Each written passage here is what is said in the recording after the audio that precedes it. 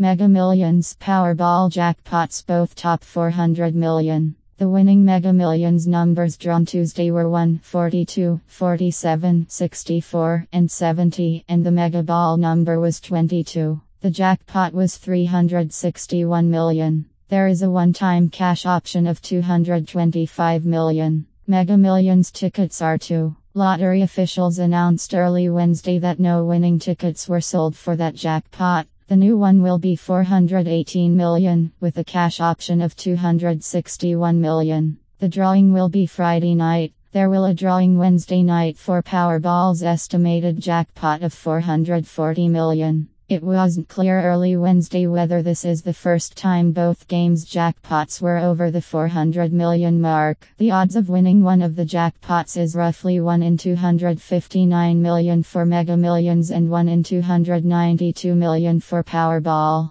And the chances of winning both for those of you thinking really big. Roughly 1 in 75 quadrillion, that's 15 zeros, according to data scientists at Allstate. To understand how unlikely those odds are, it's worth comparing them to the probability of other unlikely events. Americans are much more likely to get struck by lightning, odds of 1 in 13,500, or to die in a car accident, 1 in 645. The average American spends about 200 a year on lottery tickets, although residents of some states spend far more. According to a study by LendEDU, the average Massachusetts resident spends 735 annually on lottery tickets. Rhode Islanders spend 514 a year. Those in Delaware or New York are likely spending about 400 a year or 33 per month. Based on the materials of the site,